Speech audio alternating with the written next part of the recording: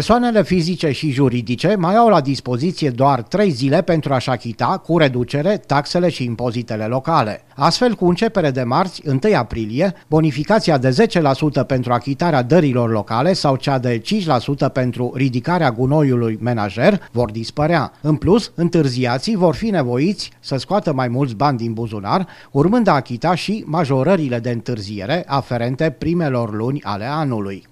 De când am început să încasăm impozitele, am avut un aflux uh, de contribuabil foarte mare, în sensul că majoritatea pensionarilor și celor care au avut un loc de muncă și-au achitat integral impozitele și taxe locale, uh, pentru faptul că au beneficiat uh, de bonificația de 10% la impozite, teren, mașină și casă și de 5% la taxa pe salubritate.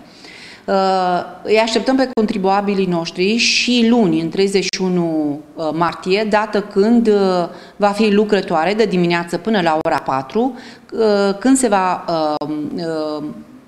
încasa impozitele cu acea bonificație de 10%.